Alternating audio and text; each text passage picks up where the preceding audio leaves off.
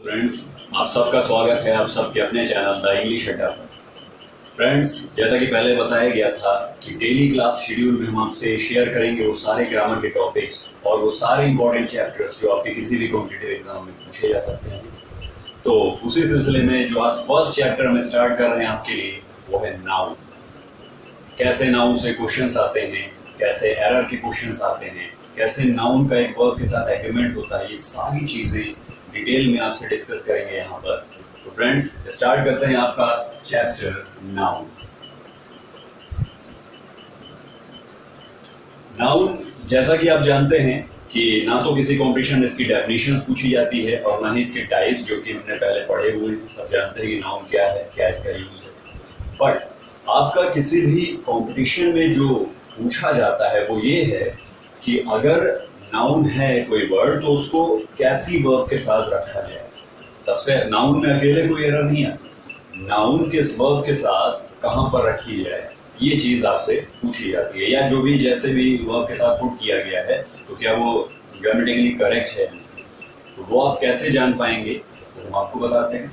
Simply noun आप जानते हैं। Noun is the name of a person place और थिंग और आइडिया किसी भी व्यक्ति, वस्तु, स्थान या विचार के नाम को अगर कोई नाम दे दिया जाए तो वो आपका नाउन यानी संज्ञा बन जाता है। देखते हैं? कि नाउन जो है, आप सबसे पहले नाउन समझने से पहले आप एक चीज़ यहाँ पर नोट डाउन कर लीजिएगा और उसको समझ भी लीजिएगा कि कहीं पर भी अगर कोई सिंगुलर सब्जेक्ट आया है तो उसके साथ वर्ब जो है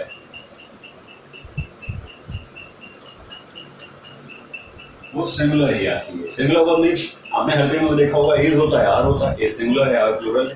एज होता है होता है सिंगुलर है प्लूरल है। या प्रेजेंट इंडेफिनिट टेंस में मेन वर्ब में मेन वर्ब भी है। अगर उसमें एस या ईएस लगा होता है जैसे ही गोज क्योंकि ही सिंगुलर है दे गो क्योंकि दे प्लूरल तो वर्ब को सिंगुलर या प्लूरल दो तरीके से लिखा जा सकता है स्पेशली सिर्फ़ हेल्पिंग वर्ब्स को और एक जगह मेन वर्ब को सिर्फ़ प्रेजेंट इंडेफिनिट टेंस में। तो अगर कोई सब्जेक्ट सिमिलर है तो उसके साथ जो वर्ब आएगी, वो भी सिमिलर दूसरी चीज़, कि अगर कोई सब्जेक्ट आपका प्लूरल है तो उसके साथ जो वर्ब आएगी, वो प्लूरल है। ये एक बहुत बेसिक चीज़ है, आप सब जानते भी होंगे इसके बारे में। ये यहाँ रिमाइंड करा दिया गया है, क्योंकि आगे जो अभी हम नाउन के बारे में क्लासिफिकेशन देखेंगे, वो इससे रिलेट करता है। कि क्यों हम ये जान रहे हैं कि कौन सी नाउन सिंगुलर होती है, कौन सी प्लूरल वो इसलिए जान रहे हैं क्योंकि अगर सिंगुलर सब्जेक्ट के रूप में कोई सिंगुलर नाउन आती है तो उसके साथ सिंगुलर वर्ब आती है और प्लूरल सब्जेक्ट की तरह कोई नाउन यूज़ हो तो उसके साथ प्लूरल वर्ब आती है। ये बेसिक आपका रूल है। इसी से भी सब्जेक्ट वर्ब एग्रीमेंट के लिए। अब देखते हैं कि नाउन को कितने पार्ट्स में डिवाइड किया आप सब जानते होंगे, सबने पढ़े भी होंगे कि शायद फाइव टाइप्स होते हैं नाउन के बट ऐसा नहीं, जो फाइव टाइप्स हैं, वो काइंड्स हैं उसके। कोई भी part of the speech classes और काइंड्स में डिवाइड होता है। क्लासेस यानी वर्क की आमतौर पे दो, तीन या चार क्लासेस में चीज़ें डिवाइड होती हैं। बाकी जितने भी क्लासों का डिवीज़न होता है, वो काइंड्स में होता है। तो सिंपली आप ये जाने कि नाउन को बेसिकली दो क्लासेस में डिवाइड किया गया है। फ़र्स्ट है काउंटेबल नाउन्स और सेकंड है आपका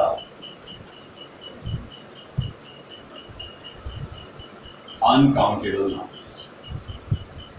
ये क्लासिफिकेशन है नाउन का दो पार्ट्स में. काउंटेबल यानी गिने जा सकने वाले और अनकाउंटेबल यानी ना गिने जा सकने वाले. जो फाइव काइंड्स आपने पढ़े हैं, वो सब इसके अंदर आते हैं. पहले हम देखते हैं कि इन्हें दो पार्ट्स में जो डिवाइड किया गया है, इसका क्या फ्रेंड्स जो भी नाउन है इंग्लिश के अकॉर्डिंग काउंटेबल वही है, जिन्हें आप एक, दो, तीन इस तरह से गिन सकते हैं। कोई भी नाउन वो काउंटेबल है जिसे आप पीसेस में one two three four five में काउंट कर सकते हो। अगर कोई ऐसा नाउन है जिसे आप वज़न कर रहे हो, माप रहे हो लीटर्स में किलोग्राम में तो वो काउंटेबल नहीं वो सब अनकाउंटेबल हो जाएगा। जितने भी चीज़ें हम काउंट नहीं कर सकते वन टू थ्री में केवल उनका वज़न कर सकते हैं या देख सकते हैं, या वो अनकाउंटेबल मानी जाती है सारा आप देखते हैं कि काउंटेबल और अनकाउंटेबल होने के क्या यहाँ पर इफ़ेक्ट पड़ता है। देखिए, अगर कोई नाउन आपका काउंटेबल है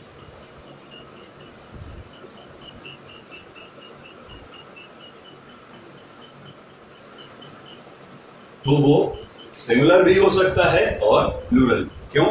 क्योंकि जिसको भी हम वन टू थ्री में गिन सकते हैं, वो एक भी हो सकता है और एक से ज़्यादा भी। यानी जैसे बॉय सिंगुलर नाउन है काउंटेबल नाउन है। बॉयज़ प्लूरल नाउन है, लेकिन है अभी भी काउंटेबल तो जिन नाउन्स को गिन सकते हैं, उनका प्लूरल भी बन सकता है। तो काउंटेबल नाउन सिंगुलर भी हो सकता है आपका, और प्लूरल अब आते हैं अनकाउंटेबल नाउन पे। अनकाउंटेबल नाउन केवल एक ही फॉर्म में लिखा जाता है सिंगुलर रीजन जैसे शुगर वन टू थ्री में तो हम नहीं गिन सकते, उसे तौल सकते हैं। तो शुगर जो है शुगर ही लिखा जाता है, कभी शुगर्स नहीं लिखा जाता, चाहे वो कम शुगर हो, चाहे ज़्यादा शुगर या कोई भी ऐसी चीज़ मिल्क मिल्क कभी नहीं लिखा जाता, उसका प्लूरल नहीं बनता। क्यों? क्योंकि वो एक अनकाउंटेबल नाउन तो यहाँ पर ये पता चला कि कोई भी ऐसा नाउन जिसे आप वन टू थ्री में नहीं गिन सकते जो अनकाउंटेबल की कैटेगरी में आता है, वो हमेशा एक ही फॉर्म में लिखा जाता है सिंगुलर उसका कभी प्लूरल नहीं बनता मीन्स उसमें कभी एस या ई एस नहीं लगता है। तो यहाँ से क्या पता चला कि अगर काउंटेबल नाउन है तो सिंगुलर प्लूरल होता है, यानी उसके साथ सिंगुलर वर्ब या प्लूरल वर्ब आ सकती है। बट अगर कोई नाउन अनकाउंटेबल है तो चूँकि वो हमेशा सिंगुलर में ही लिखा जाता है, इसलिए उसके साथ जो वर्ब होगी हमेशा कैसी होगी? हमेशा सिंगुलर ही होगी। एक चीज़ हमें ये पता चलेगी आइए देखते हैं एक दूसरा पॉइंट काउंटेबल अनकाउंटेबल के बारे में। आपने एक चीज़ पढ़ी होगी आर्टिकल्स ए एन और द जो कि डिटरमाइनर्स का ही एक टाइप होते हैं। अब द तो फ़िलहाल चीज़ों को डेफिनेट बनाता है, उसकी अलग चीज़ है। ए एन का मीनिंग क्या होता है? आप सब जानते होंगे कि ए या एन का मीनिंग होता है एक। तो अगर बात करें एन कहाँ लगता है? वो अलग चीज़ है, लेकिन ए या एन दोनों कैसे नाउन के पहले लग सकते हैं? हमने कहा कि काउंटेबल से पहले ए या एन लग सकता है अगर वो एक हो। अ बॉय अ पेन क्यों? क्योंकि जिसे हम गिन सकते हैं, उसे हम एक बोल सकते हैं और एक बोलने के लिए उससे पहले आर्टिकल ए एन ही लगाया जा सकता है। बट चूँकि अनकाउंटेबल नाउन लिखा ज़रूर सिंगुलर फॉर्म में जाता है बट इसको गिना तो नहीं जा सकता, जैसे मिल्क तो आ मिल्क आ शुगर नहीं। तो जिसको हम गिन ही नहीं सकते, उससे पहले जनरली आपका ए एन भी नहीं लगता। तो ये चीज़ आपको समझ में आई कि अगर कोई सिंगुलर नाउन है, वो काउंटेबल है तो उससे पहले जहाँ ज़रूरी हो ए एन आ सकता है, एक के अर्थ में। लेकिन जो नाउन ही अनकाउंटेबल है, उससे पहले कभी ए एन भी नहीं लिखा जा सकता, ये भी आपके अर्थ में पूछा जाता है। तो दो चीज़ें आपने जानी कि अनकाउंटेबल नाउन का कभी प्लूरल नहीं बनता, और ना ही इससे पहले कभी ए एन लिखा जाता ये अब देखते हैं कि जो इसके फाइव टाइप्स हैं, ठीक है फाइव टाइप्स आपने नाउन्स के पढ़े हैं कॉमन नाउन मटेरियल नाउन तो उनमें से कौन से हैं जो काउंटेबल में आते हैं और कौन से हैं जो अनकाउंटेबल में आते हैं? तो फ्रेंड्स पहले अगर बात करें काउंटेबल की तो हम जैसे नाउन का पहला टाइप उठाते हैं कॉमन नाउन जैसे हिंदी में आपने जातिवाचक के नाम से पढ़ा होगा। कॉमन नाउन का एक एग्जांपल जैसे boy girl city common noun जो किसी चीज़ की तरफ़ इशारा करे, किसी चीज़ के नाम की बात ना करे। मैन मैन वोमेन ये सब कॉमन नाउन है, जो सबके लिए कॉमन तो अब बात करते हैं कि जैसे बॉय हो गया सिटी हो गया कॉलेज हो गया, क्या इनका प्लूरल बनता है? बिल्कुल। सिटी एक से ज़्यादा हो तो सिटीज़ हो जाएगा। मैन का प्लूरल मैन बनता बॉय का प्लूरल बॉयज़ बनता कॉलेज का कॉलेजेस यानी हर कॉमन नाउन का प्लूरल बन सकता है। तो चूँकि प्लूरल बन सकता है, इसलिए वो काउंटेबल हुआ और इन सबको हम एक दो तीन में काउंट भी कर सकते हैं। इसलिए जो भी आपका कॉमन नाउन्स होते हैं, वो सारे काउंटेबल होते हैं। सिंपली मतलब इसका ये है कि वो सिंगुलर फॉर्म में भी यूज़ होता है, और ज़रूरत पड़ने पर वो प्लूरल फॉर्म में भी यूज़ होता है। कॉमन दूसरी चीज़ आती है, दूसरा नाउन जैसे हम देखें प्रॉपर नाउन प्रॉपर नाउन क्या होता है? जैसे अभी हमने कहा सिटी तो वो कॉमन नाउन बट अगर किसी सिटी का नाम ले रहे जैसे लखनऊ, फैजाबाद इलाहाबाद तो ये जब भी किसी चीज़ का नाम आता है तो वो प्रॉपर नाउन बन जाता अब बात करते हैं कि प्रॉपर नाउन काउंटेबल में आएगा कि अनकाउंटेबल में? मीन्स इसका प्लूरल बनता है कि नहीं बनता? तो बॉय का प्लूरल बनता है बॉयज़ मैन का प्लूरल बनता है मैन बट अगर कोई नाम है बॉय का मीन राहुल तो कई लोग राहुल नाम से हैं तो उसका प्लूरल राहुल तो नहीं बन जाएगा. मीन्स सिंपली ये है कि किसी नाम का कभी प्लूरल नहीं बनता. इस वजह से वो नाम चाहे एक ही चीज़ का क्यों ना हो, लेकिन प्रॉपर नाउन आपका अनकाउंटेबल में आता है, क्योंकि नामों का प्लूरल बनता ही नहीं. किसी भी नाम के आगे आपने कभी एस लगा नहीं देखा होगा। और अगर एस लगा भी है, जैसे कुछ पोएट्स हैं आपके चार्ल्स डिकेंस तो उसमें उनके नाम में इंक्लूड है। नाम का प्लूरल नहीं बनाया गया। ठीक है? तीसरा नाम देखते हैं। मटेरियल नाम। हिंदी में पदार्थवाचक बोलते हैं, यानी किसी भी मटेरियल का नाम silver gold iron wood plastic इन सब भी मेटल का मटेरियल्स का नाम। तो देखा होगा कि आपने कभी प्लूरल सिल्वर का कहीं सिल्वर्स, गोल्ड का गोल्ड्स, या वुड का वुड्स? नहीं, हालाँकि वुड्स और आयरन से वर्ड होते हैं बट उनके मीनिंग अलग होते हैं। तो किसी भी मटेरियल नाउन को हम एक, दो, तीन में नहीं गिन सकते, उन्हें वज़न कर सकते हैं। चूँकि उन्हें गिन नहीं सकते एक, दो, तीन में तो सारे मटेरियल नाउन आपके आते हैं।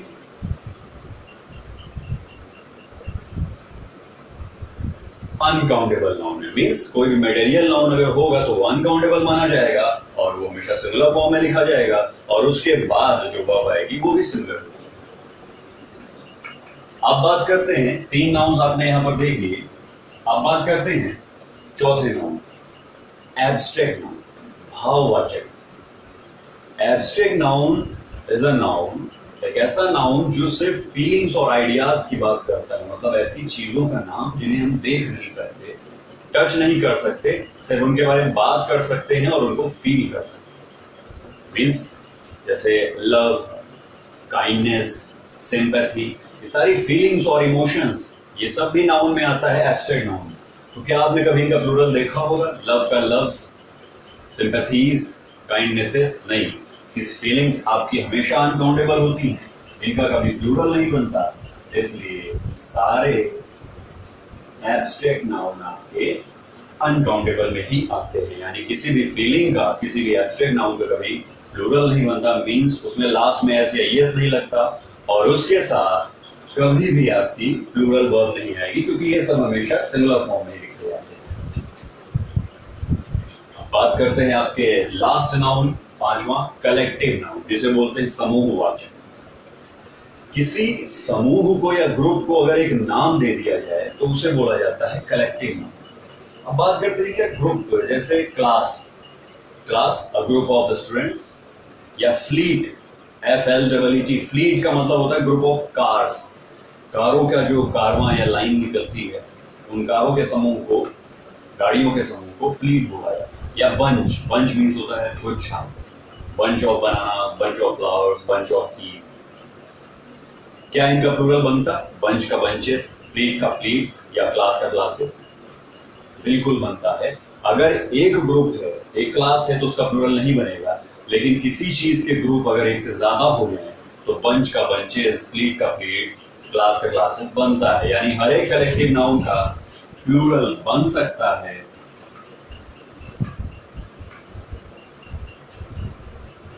इस वजह से आपके सारे कलेक्टिव नाउन भी काउंटेबल में आते हैं। यानी अगर एक ग्रुप है तो सिंगुलर फॉर्म में। अगर एक से ज़्यादा है तो प्लूरल फॉर्म में। और सिंगुलर तो सिंगुलर वर्ब प्लूरल की तरह है तो प्लूरल तो आपने देखा कि ये जो पाँच नाउन हम पढ़ रहे थे, इसमें से तीन आ गए आपके अनकाउंटेबल में, जो कि हमेशा सिमिलर होते हैं, जिन्हें गिन नहीं सकते, और दो आ गए आपके काउंटेबल में, जो कि ज़रूरत पड़ने पर प्लूरल भी बन सकते हैं। क्योंकि हम इन्हें गिन सकते अब दो चीज़ें आपने पहले देखी थी काउंटेबल और अनकाउंटेबल के बारे में। एक चीज़ और कि ये नाउंस हमने जो क्लासिफिकेशन देखा, इसका यूज़ क्या है? क्लासिफिकेशन का ये यूज़ है कि अगर इनमें से कोई नाउन कभी आए तो क्या एरर पूछी जा सकती है? इनमें एस या एस नहीं लगेगा, अगर लगा है तो गलत है। दूसरी चीज़, इनके साथ कभी प्लूरल वर्ब नहीं आएगी क्योंकि इनका प्लूरल बनता ही नहीं तो अगर इनके साथ कभी प्लूरल वर्ब दी गई है तो वो भी गलत है, क्योंकि इन सारे नाउंस के साथ, चाहे वो प्रॉपर हो, चाहे मटेरियल चाहे एब्स्ट्रैक्ट हमेशा सिंगुलर वर्ब ही आएगी। क्यों? क्योंकि ये अनकाउंटेबल दूसरी चीज़ कॉमन नाउंस और कलेक्टिव नाउंस ज़रूरत पड़ने पर प्लूरल भी बन सकते हैं, यानी इनमें एस एस लग सकता है, और जब इनमें एस एस लगेगा, तब इनके साथ प्लूरल वर्ब आएगी। क्योंकि आपने पहले ही वो चीज़ पर बेसिक रूल देखा हुआ है कि सिंगुलर सब्जेक्ट के साथ सिंगुलर वर्ब और प्लूरल सब्जेक्ट के साथ प्लूरल तो ये था नाउन का क्लासिफिकेशन नाउन दो पार्ट्स में काउंटेबल अनकाउंटेबल होप कि आपके लिए काफ़ी हेल्पफुल हो. अब, यहाँ हमने नाउन का क्लासिफिकेशन तो देख लिया और उसके बारे में बेसिक चीज़ें भी जान ली. अब देखते हैं कि कौन कौन से स्पेशल रूल्स हैं या कौन कौन से क्वेश्चन हैं जो आपके पूछे जाते हैं फ्रेंड्स एक चीज़ आप ध्यान रखिएगा एसएससी में या किसी भी एग्ज़ाम में मैक्सिमम आपके रूल्स कम पूछे जाते हैं। जो रूल्स के एक्सेप्शन होते हैं, अपवाद, वो ज़्यादा पूछे जाते हैं कि जहाँ नॉर्मल रूल ना फॉलो होकर कुछ अलग रूल फॉलो होता है। तो ज़्यादातर चैप्टर्स पे आप उन्हीं चीज़ों पे, हालाँकि बेसिक रूल भी बहुत ज़रूरी है, लेकिन उनके एक्सेप्शन आप बहुत ध्यान से पढ़िएगा, क्योंकि ज़रूर पूछे जाते हैं। जैसे कि नाउन को आपका मैं पहला यूज़ जो बताऊँ तो एक्सेप्शनल केस ही। कैसे? अभी आपने पढ़ा, किसी भी कॉमन नाउन का प्लूरल बन सकता है। फ़र्स्ट रूल नाउन का कहता है, वो कॉमन नाउन्स ऐसे कॉमन नाउन्स के बारे में बात करता है, जो कभी प्लूरल नहीं बनते। तो हुआ ना एक्सेप्शन तो यहाँ पर अभी हम आपको पहले रूल में कुछ ऐसे कॉमन नाउन्स बताएँगे, जिनका प्लूरल नहीं बनता है, जो अनकाउंटेबल माने जाते हैं। और अगर प्लूरल नहीं बनता है तो यानी उसमें एस नहीं लगेगा। और उसके साथ कभी भी आपकी प्लूरल वर्ब नहीं कैसे? जैसे एक एग्जांपल मैं यहाँ पर लिखता हूँ आपको समझाने के लिए।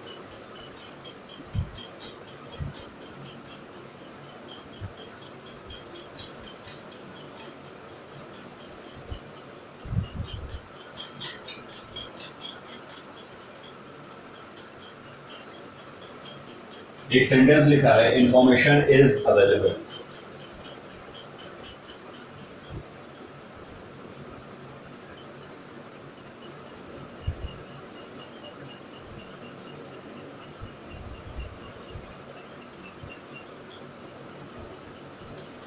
दूसरा लिखा है इंफॉर्मेशन आर अवेलेबल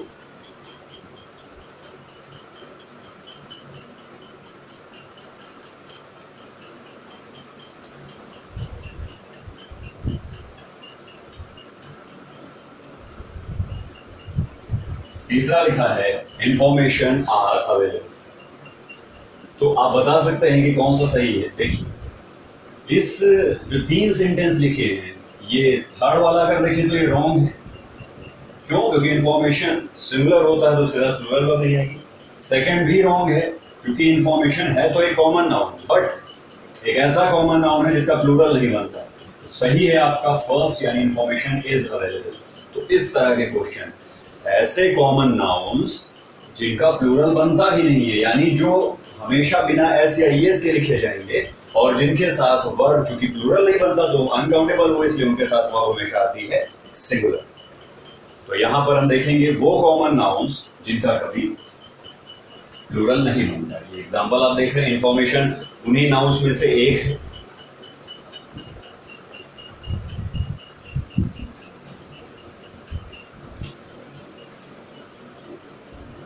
तो यहाँ पर आपके लिए ध्यान दीजिएगा वो सारे कॉमन नाउन्स लिखे जाएँगे जो प्लूरल नहीं बनते, जिनके बाद में कभी एस या एस नहीं लगता और जिनके साथ कभी प्लूरल वर्ब नहीं ऊपर में लिख दे रहा हूँ।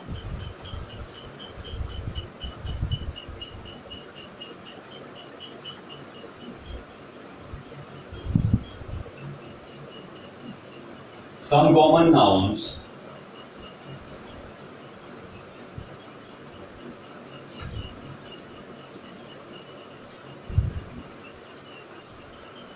which are used as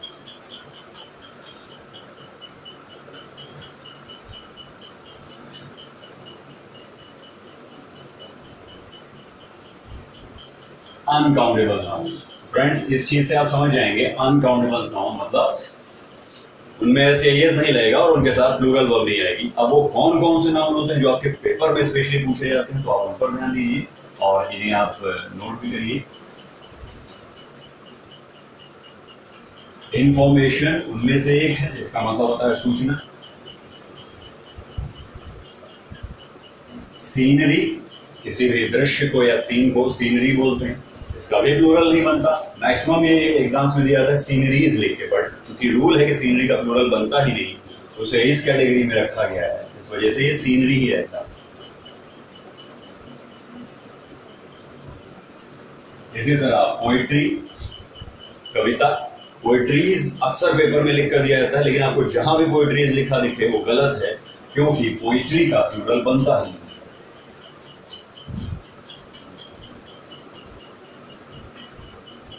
furniture furniture मतलब लकड़ी का या कुर्सी में सारा सामान। तो फर्नीचर्स होता ही नहीं है। बोला देखिए थोड़ा सा स्पीकिंग इंग्लिश इस रिटर्न इंग्लिश से अलग है। आपने सुनना होगा लोगों के मुँह से, लोग बोल देते हैं बट वो सही तरीका नहीं है। ग्रामेटिकली जब हम सही इंग्लिश लिख रहे हैं तो फर्नीचर ही लिखा जाता है, उसमें कभी भी ऐसे एस नहीं लगता। क्यों? क्योंकि फर्नीचर एक ऐसा कॉमन नाउन है, उस कैटेगरी में रखा गया है जो अनकाउंटेबल माना जाता है। फिर इसी तरह आपका आता है लगेज लगेज मीन्स सामान। तो लगेजेस भी नहीं होता है लगेज हमेशा लगेज ही होता है, ठीक इसी तरह। बैगेज जिसका मतलब होता है बोरिया बिस्तर या सामान बैगेजेस भी नहीं होता बैगेज हमेशा बैगेज ही रहता है। इसके अलावा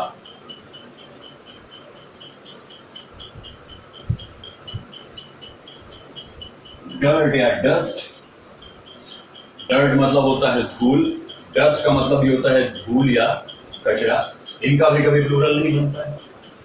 इसके अलावा रबिश रबिश का मतलब भी कूड़ा या कचरा होता है, इसका भी प्लूरल नहीं बनता। है इसके अलावा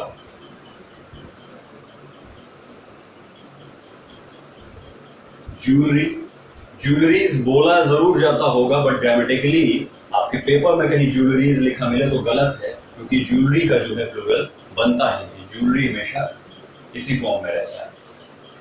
इसके अलावा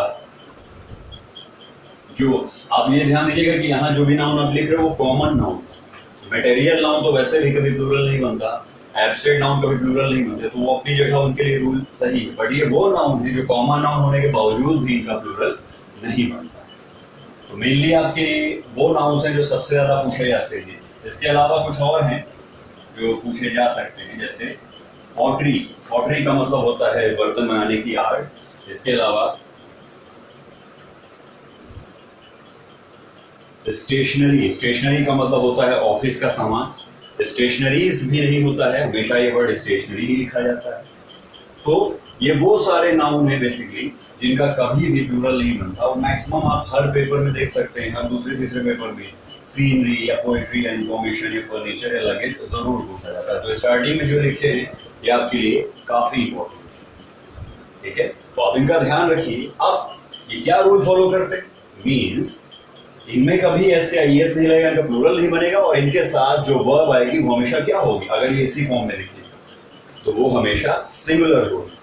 तीसरी चीज़, आपने देखा था कि मैंने बताया था कि जो काउंटेबल नाउन होते हैं, अगर वो सिंगुलर फॉर्म में आए हैं तो ज़रूरत पड़ने पर उनके साथ ए एन आ सकता है।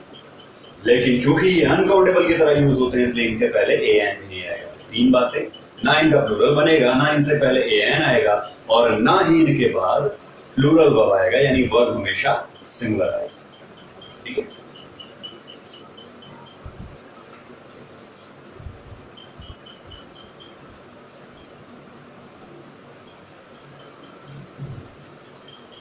तो ये वो नाउंस थे जो हमेशा सिमिलर फॉर्म में यूज़ होते हैं। कुछ एक चीज़ है जैसे बता देता हूँ। इससे पहले अगर ये ऐसे कुछ लिख दिया है, जैसे देखिए।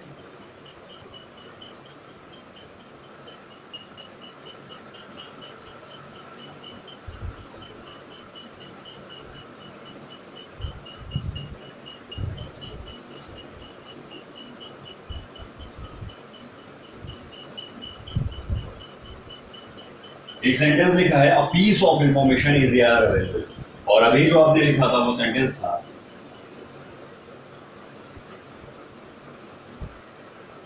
इंफॉर्मेशन इज़ अवेलेबल और एक और सेंटेंस अगर मैं लिखूं।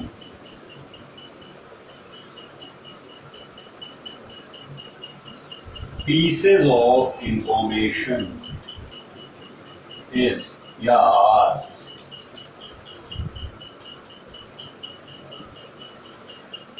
are available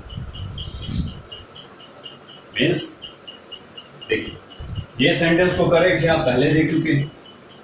अगर इंफॉर्मेशन जैसे नाउन से पहले, या ऐसे और भी कुछ नाउन होते हैं एडवाइस ब्रेड इनसे पहले आप पीस ऑफ़ लगा दिया देखिए, यहाँ पर मतलब है इंफॉर्मेशन अवेलेबल है बट यहाँ मीनिंग निकल रहा है, एक इंफॉर्मेशन अवेलेबल है।